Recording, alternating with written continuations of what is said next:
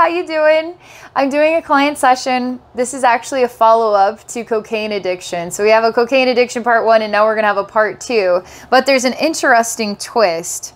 So the goals are, um, let's do a healing style session on cocaine addiction part two with the Theta Tauri.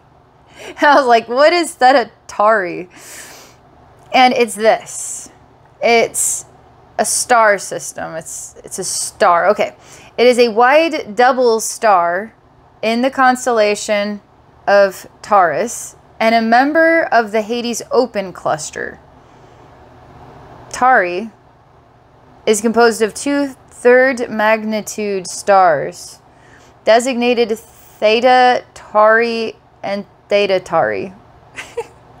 Theta is brighter, hence the pair are sometimes referred to as Theta Tauri B and A respectively. Theta Tauri. okay, this is very, very cool. Thank you for introducing me to this, Theta Tauri. Alright. I'm already feeling in the zone here. I want to thank you guys for experiencing this client session with me is a lot of fun to dive into these goals and see what we discover. Um, sharing healing with the client is also sharing healing with you. And there's so much we can learn together. If you're interested in exploring a session, go to my website at abbeynormalswisdomquest.com and we can keep it private or we can share.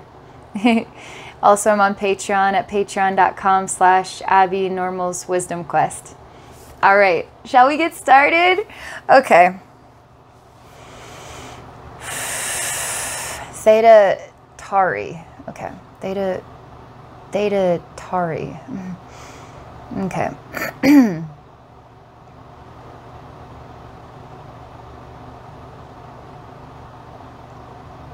Cocaine addiction. Theta Tauri. We're just going to overlap these. And everything that I experienced in that first session was, it was quite a wild ride, really. And then I see you now, okay? and I'm adding you to this. It's like we've got a big stew here of cocaine addiction, Theta Tauri, and you and we're just stirring it all together. And then we're going to see what the meaning and the healing and the transformation with all of this intermixing um, what it's going to become. It's like this alchemy that we are working with. You're really resistant actually. Because here's cocaine addiction here's theta tauri and then I bring them together. I could put them in the pot, no problem. And I'm adding you. You're another ingredient. You're just like, mm, not wanting to enter into the pot. Okay. Come on now. Come on now. We're all having fun here. It starts to look like a hot tub. And you're not really sure that you want to get in this hot tub. It's like, what? All your friends are here. We got the cocaine addiction. We got the Theta Tauri. It's going to be great. Hmm. No, my guides say, because I was like, okay, let's forget about it and I'll just go to you. And my guys are like, nope. Um, so I literally just pick you up with like a cosmic hand and then I put you in the pot, okay? Because you're going to be a part of this. And you say it's ripping me apart and you're actually being ripped apart one thread at a time like like you're stitched and woven and then you're unraveling like a sweater. And so you're just like being unraveled in here and it's ripping you apart. It's it's quite bloody actually. It's like a gross bloody thread that's coming out of you. And you don't know how to intermix with all the meaning of this. You just want to heal this that's all. You just want to heal this. It's painful. It's actually painful And it is because I, I touch the string and it, it cuts into my finger. And it represents pain. It represents pain. And so when I put you in this pot, you're in pain. And it's hard to it's hard to be in pain. It's interesting because uh, cocaine addiction feels no pain, but but the one that is enduring it does. It feels like cocaine doesn't feel any pain, but you, you're gonna feel it and then I don't know. I this this star. It keeps like erasing from my mind how to say it. Theta Tauri, the TT. Theta Tauri is at peace. It's super peaceful, but you're in pain. This has to do with your sacral chakra and your heart and avoidance to something of your genuine and deep emotions. And I want to say that it, it then would relate to your solar plexus, but perhaps there's avoidance um, because it's quite quiet right now, okay? So you're just becoming a spaghetti noodle. I mean, you're like the infinite spaghetti noodle right now. And you're covered in a red sauce. It's just like this thread. It kind of remembers, reminds me of the, they're like the sisters of time and they're like, there's past, present, and future. And then they cut the threads of time. And I see that thread has blood on it. And it's your blood. And we can't cut this thread and you just become a very very long spaghetti noodle with mar marinara sauce on it and you're flimsy you're flexible you're kind of um, at the will of someone beyond yourself we're still in this sort of cauldron of information and it's a bit mysterious still like it's undecided in, in some way. Because you're not really choosing to be blended with it all. You're choosing to keep it all separate. But no, we're going to have to blend it all and it's going to all be a part of who you are. It's very hard to do this. You really reject the cocaine addiction. By blending with it does not make you an addict of, of cocaine if it's something that you're conquering. Um, it's just a part of your memory, you can say. You don't, it's like you're really trying to rinse or wring out the rag of what this means to you and you want nothing to do with it. Um, but actually, to truly resolve this relationship, you're going to have to blend with it. And that's a very vulnerable thing for you to do. And I feel like the star is, is going to help um, nurture you through the process, okay? What's weird about it is when I look at the star, it glows, believe it or not, with it, there's lines of different shades of blue and then black. And it seems like it only looks like it's um, bright, like white light, but it's actually black. Um, it's extremely dark, and, and so somehow that it's so dark that it makes it look like it's light. And it, it can be blinding even. It, how could black light be so bright that it could blind you? But it, it shows itself as actually made out of black um, the light of black, the ray of black, and then um, there's blues um, interwoven into it, and there's some very pale and beautiful glowing blues in here too. And it's made out of like threads of different colors, kind of um, interwoven like in a black ink. And it's uh, actually quite a nice adjustment when I'm not blinded by the light. Um, I actually can see clearly, and, and it's, it's quite wonderful to look into this unusual light. And I feel comforted by it. I'm suddenly standing on basically a dead rock. It even has um, pits in it, like you you would see the moon has pits in it, like um, hit by uh, objects or uh, of the universe, so to speak. And it's it's not a planet, but it's not a moon. It seems smaller than a moon to me. It's like the rock that like the little prince was on this this little tiny planet that he could walk around very quickly. And it is like a like an asteroid. And it's um nothing grows here. And this Theta Tauri is wanting me to sit down like the little prince here on this rock and look into the light. And it, it's a very feminine energy. But you're extremely nervous to look into her eyes because sometimes it, it's almost like that feminine energy has knives and it can cut you. Like you don't know if it will cut you or not. I also see a baby being born and the umbilical cord is cut, and for some reason, there is a great deal of pain associated with this. Um, I feel the sensation of like literally somebody cutting my hand from my arm, and that the umbilical cord being cut um, in this scene was actually is actually felt like the removal of a leg or something, extremely painful. And there's a screaming separation between the lifeline of the mother to the baby and now the baby having to nurture itself um, is not in the mother's womb. Being 100% nurtured now must endure being alive and responsible for its own life i mean obviously nurture comes too in other ways but there's this um, we're like stuck in this scene where we're not able to um, cope with the suffering of separation and the painful cutting of the umbilical cord. And somehow looking at this scene is comforting to you. It, it, doesn't hurt anymore. And you look into her eyes and she's a beautiful woman. She's a she glows with black light and she has like an aura around her that is different shades of blue. And she's quite uh, balanced in her energy.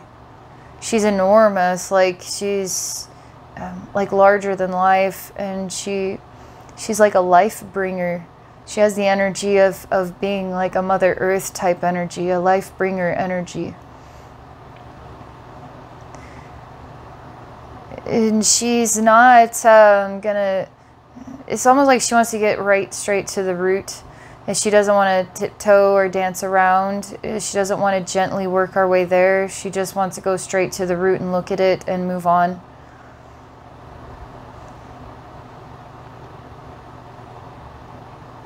I feel like she's going to look a little bit um, dark, okay? Eh, but she's not. She's actually healing that dark place. So how you see her is actually um, revealing um, something inside yourself that you're actually working through. It just seems to show up on her face as a mirror to what you what you are healing. What what it appears that she's doing is she she's appears to be becoming um, very aggressive. Okay. And she takes her cosmic hand and she wraps it around your heart like a vicious snake and then really, really fast tightens and suffocates and then smiles as she slowly watches you, you die um, through her mighty hand and suffocation of your heart. It's like you're dying in her arms, and it's quite wonderful for her. Remember, this is not her, this is you, um, and she's helping you to heal something. It just appears like she's the evil one doing this to you, and actually, you could say it already was done to you. You just need to see it now. So she's illuminating it for you. I would say working with this Theta Tauri is, um, oh man, it is going to really help clear the bats out of the cave. But you've got to be ready because she doesn't um, waste any time. Like she's going to get right down to business and it could be scary. But whatever you're afraid of is not actually her, it's what she's illuminating inside of you. Um, so don't anything when you're working with her, anything that might come up that might scare you, um, she's she's only illuminating the thing that you haven't healed yet inside yourself. And the reason you haven't healed it is because you don't know how to cope or to look at it or to feel about it. So you just don't go there. And you become numb and unaware that it exists. Then you bring her in, she's going to illuminate it, and now it's overwhelming. So that's what this is like for me, okay, working with her.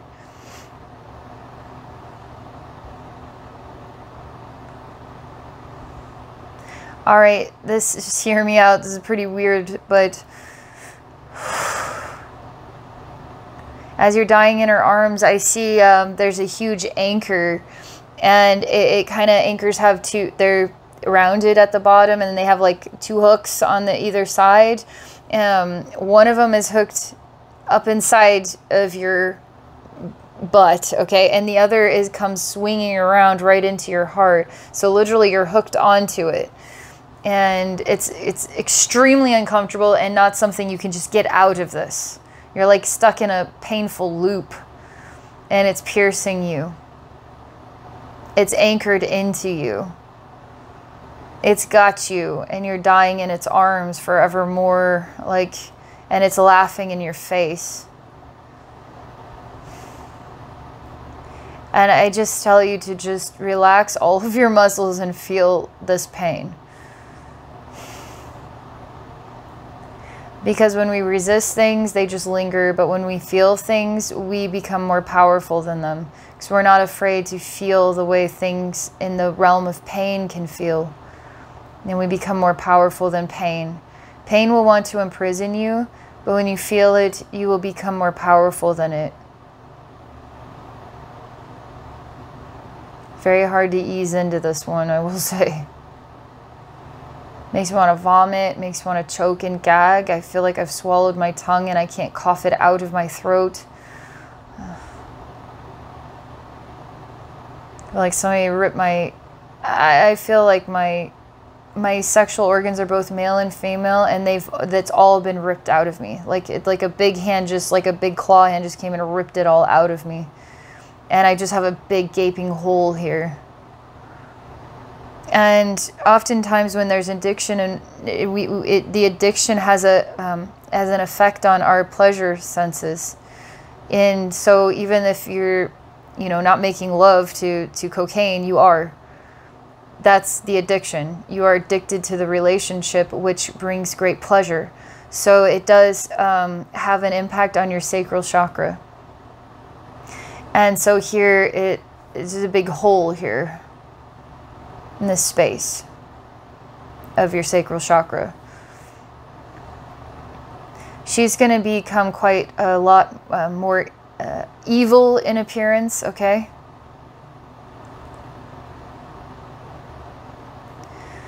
Oh, it's going to be freaking weird. Okay, so we just have to let this be what it is, but she's... I can't really understand it, but she's kind of I guess, raping you on some level with a big hole in your body. And you're just like shish kebabbed, man. You, you can't do anything. You're just going to have to endure this. You're just a lifeless, limp spaghetti noodle. And you're just going to endure this and I see the weavers of time and I see the blood on their like it's like the thread cut their finger and they bled onto the thread and it was your blood. It was your pain.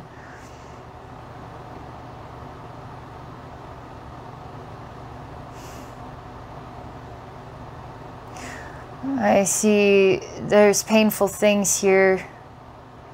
Um, a hornet's nest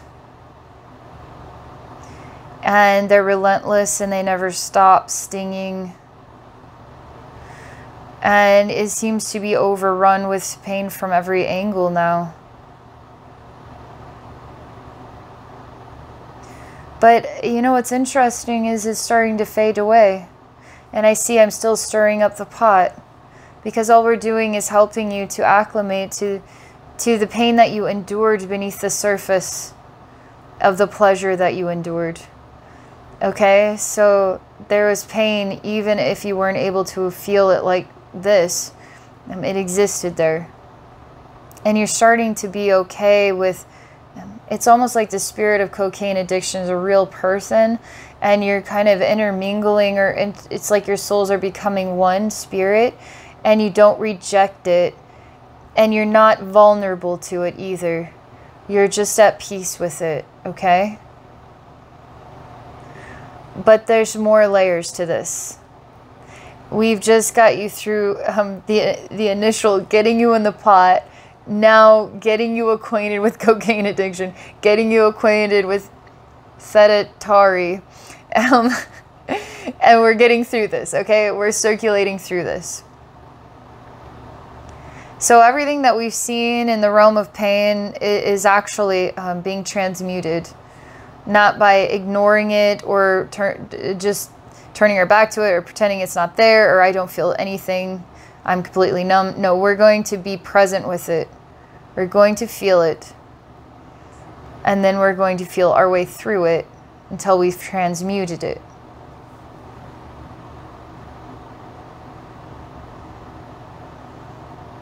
Man, you feel so much better. Even your sacral chakra is just, it's gleaming with a new sense of self. Even your heart, I feel your heart is gleaming with a new sense of self. Keep seeing a big white goose that's flying like the mother goose. She's enormous. She's like the biggest. I mean, she's bigger than an elephant. She's like the biggest goose ever known to mankind. Like, she's like so enormous. She's the biggest. I'm just like, how are you so enormous? You're just a big mother goose. You're enormous, like a big cloud. She has a very, very peaceful eyes and a very kind smile. Even though she just looks like a white goose. It seems like she is smiling with very peaceful eyes. And we're flying on her back. She's taking us to a, a wonderland, like a happy place. But she disappears, and now we're in a world, and the sky is like burnt red and it storms. This black cloud swirling. And our bones are made out of black, like um, slick black, like tar. And we're kind of bony, insect like creatures roaming a desolate plain, okay? With the glow of red everywhere. There's nothing to eat here, so we're just bone people that walk around. We have black bones. But we do feel um, stretched very thin, you could say. Very, very thin. It's a very trying place to exist. And even the heat is so overwhelming, it's hard to breathe. We have no skin. Like, literally, we are bone people that walk the land. And we don't necessarily speak we we it's like we express our meaning through a, a hollow gaze in our eyes or a, a, move of the hand it's like expressing our meaning which is completely stretched thin to the point that there is nothing more to say that only to walk as this like death walker of a desolate world where the death is upon us. And you want to cry, but you have no tears and you're completely dried up. And you cannot cry. And in all these storms, there's no rain that ever comes. There's no fruitfulness here. This is very hard for you.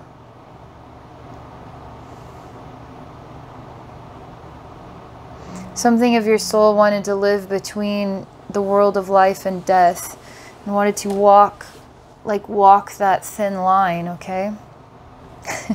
talking about cocaine and we're talking about walking a thin line.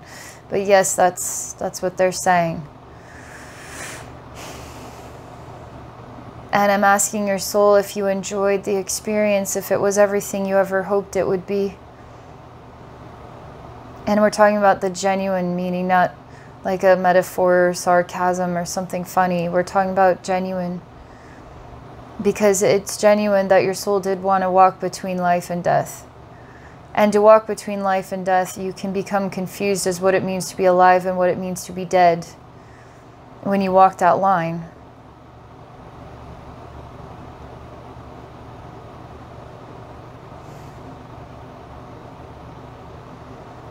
You're to have to say at the soul level, I'm waiting for your soul to say that you're ready to move on, that you have graduated from this, and that you're ready for, let's just say, abundance or something, um, maybe more like a, a jungle that bears fruit or something. Um, not a death walker, desolate world. Something. Um, the problem is, is you, you've absorbed uh, memory from here. And so in lack, you can find love. And that the problem is, love is not lack, as in, it will be very hard for. I keep seeing trees that bear fruit, It'd be hard for you to grow and bear fruit and love that it is associated with lack. And that you must let go of your greatest love of all, which is a love of lack. And somehow this really um, creates ache in your heart. And somehow in lack, you find comfort in yourself, which means that your self worth is at a level of lack. And you can only love yourself when you yourself are at the level of lack. Therefore, you can fall in love with lack too, and lack can be at your level.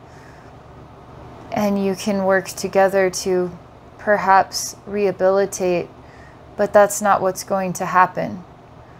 Because you were never honest with who you were in the first place, because you never were lack. And so you'll never find love in lack because you are on, honestly not lack. So your relationship is a lie.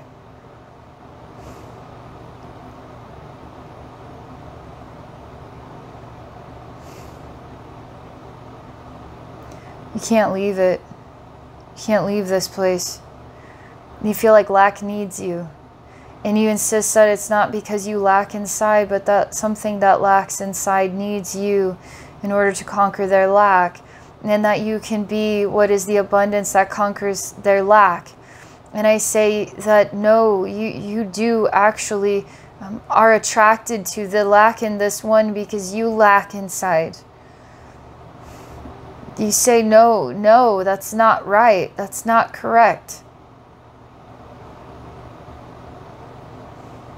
And you cry and you say, I'll never leave, never leave.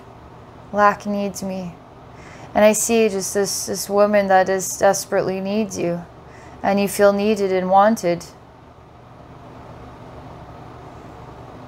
But it's all just, mm, no, mm-mm. It's like something doesn't smell right here. I, I just keep seeing this and I, I get a weird smell and it's like that saying that something doesn't smell right here because it's this isn't right. This isn't balance for you.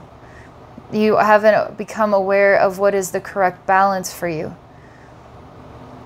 And I'm sorry that this makes your heart um, feel love, but this isn't real love.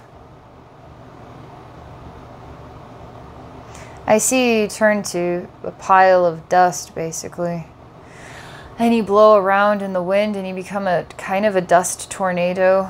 Not much of a tornado, it's just more like a little whirlwind um, full of dust. But you do spring up here and there and here and there again. And you, you travel the desolate world as dust, basically. And you're trying to run away from something. It's like if the further you travel, the further you can get away. And now that you are dust, you are different but yet you're still holding on to the same thing, the same pattern.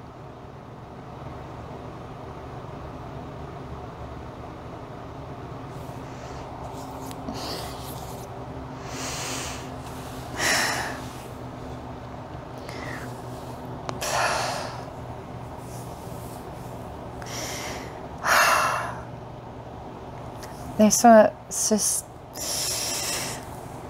it's just like. Uh, an awareness thing happening here for you.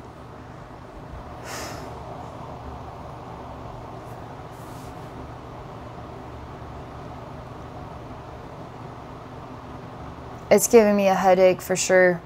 It means you're you're awakening um, a new sense of sight about your relationship with yourself, the world, cocaine addiction, um, theta, tauri, you know, all this stuff is interconnected. And, and the reason why you're requesting it is it's, there's meaning in everything.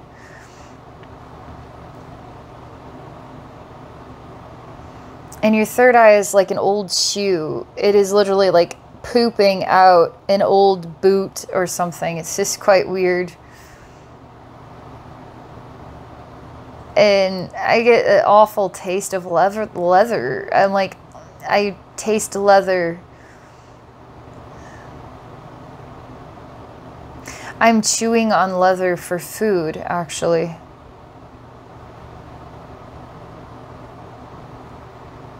But I, I just chew on it. I don't ever swallow it. I just chew on it. And I cry, and I find myself in a state of what could only be described as starvation, but sustainable starvation.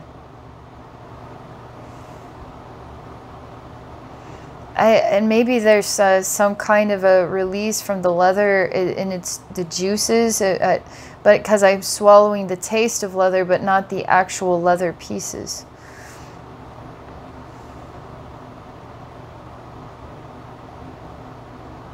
I feel that this is all that I have to to eat,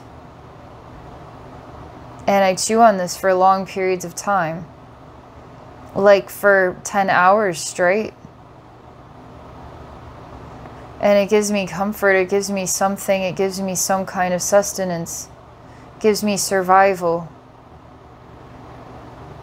and I dream a lot and I have daydreams so I am asleep and awake and I am dreaming a lot in both states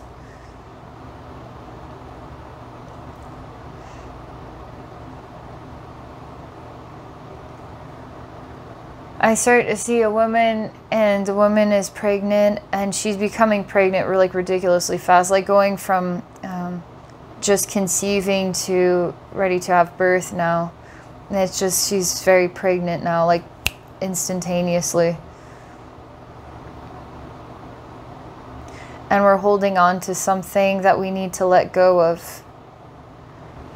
And the letting go is a good thing because it is birthing something new into this world through you and your life lessons and your relationship with cocaine.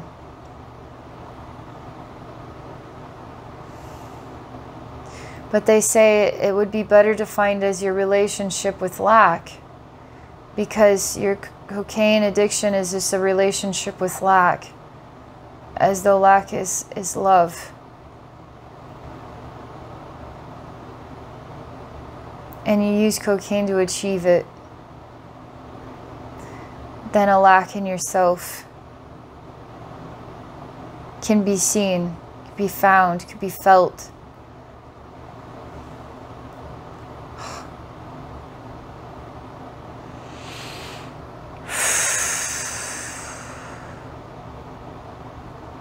Say something is different and i, do feel like um, really sharp tiny little bit, bits of glass like very very small almost but I, when I inhale, it's almost like I inhale a thousand almost minuscule tiny little piece of glass and then it, it gets in my lungs and it hurts. My lungs actually really hurt over this and I'm crying a lot. My lungs really, really hurt and I'm crying a lot.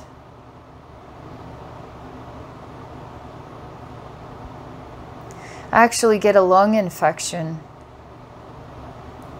And I know that I'm going to die now. And there's nothing I can do about it. And I cry because I wasn't ready for this. I cry but what's interesting is there's a, a grace to it. There's a, again, it's a feminine energy here that's supporting you. And um, she helps comfort you in your sleep. And she says to come home to me. And I see that you are dried up and you just look like a dead, dried up body. No blood in it at all. Nothing and your spirit goes to her. And you say, That wasn't as bad as I thought. I'm actually glad that happened. I was ready to come home. And then she shakes her head and she says, No, you must wake up now. And then you wake up and you're like trying to catch your breath. And then you're just looking around in the dark saying, What am I doing? What am I doing? And you are in a struggle with yourself.